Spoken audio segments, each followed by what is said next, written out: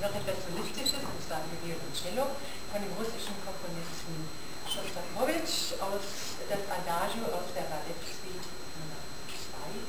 Musik gespielt von Vladimir Kopaschnikow